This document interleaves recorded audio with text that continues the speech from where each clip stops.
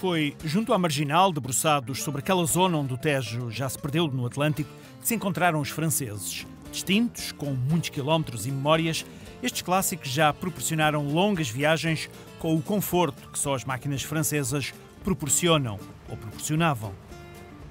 Os franceses sempre tiveram uma atenção muito forte no, conforto. Por exemplo, este tipo de carros tem uma, distância entre eixos muito elevada, o que torna automaticamente uh, mais confortável e também tem uma suspensão muito boa. Os franceses sempre zelaram por isto. Aliás, estou aqui a prova toda, estão aqui vários carros franceses de elevadíssima qualidade de, de conforto. Os carros franceses são especiais. São carros complicados, mecânicas complicadas, mas são carros interessantes, com uma mecânica muito interessante. Uh, são carros muito confortáveis, muito seguros, com bons motores, que dão prazer conduzir. Se estes clássicos marcaram uma época, também este cenário faz parte da história. Já lá vamos. Para já, os modelos míticos dos anos 30 aos anos 80 do século passado, desde os mais conhecidos Citroën, Renault, Peugeot, Talbot ou Alpine, a outros que só mesmo os mais devotos conseguem identificar, Matra e Hotchkiss.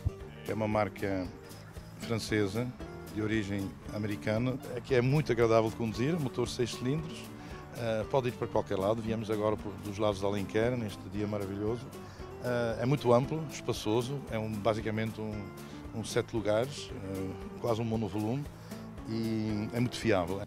Trouxe este Citroën DS, é um carro de 1969, é o DS20, portanto é um 2000 centímetros cúbicos. Restaurei-o todo, o motor foi todo aberto, um, toda a componente de chassi foi apenas tratada aqui fazer alguns polimentos um, e desde lá até agora só tem dado alegrias e uma curiosidade muito interessante.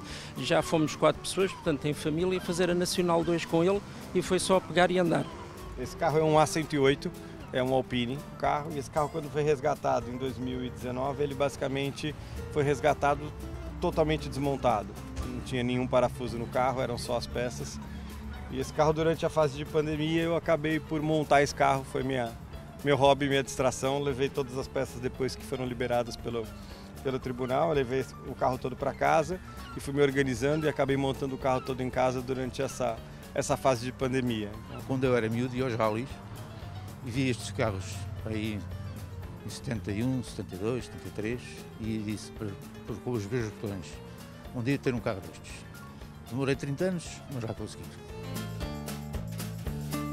Já devidamente estacionados e com os respectivos proprietários entrumados, afinal muitos são velhos conhecidos que o ACP Clássico junta de quando em vez.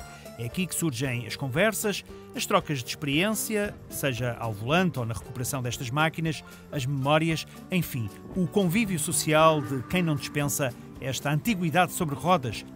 Gosto muito de todos estes carros que estão aqui, acho muito engraçados e gosto muito de carros clássicos e, portanto, achei uma boa oportunidade para vir. Depois do encontro, a parte cultural desta primeira iniciativa que o ACP Clássicos resolveu fazer exclusivamente para modelos de fabrico francês. Como se falar e dedicar tempo aos clássicos não fosse já uma componente que nos torna mais conhecedores da história. Mas vá.